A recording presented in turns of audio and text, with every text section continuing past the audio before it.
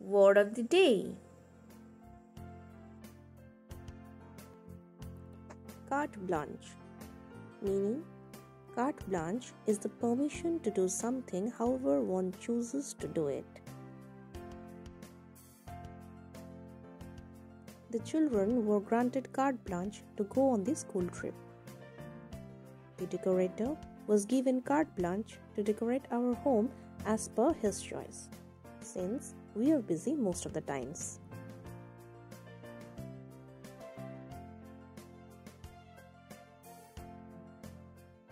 Thanks for watching. Please like, share, comment, subscribe and hit the bell.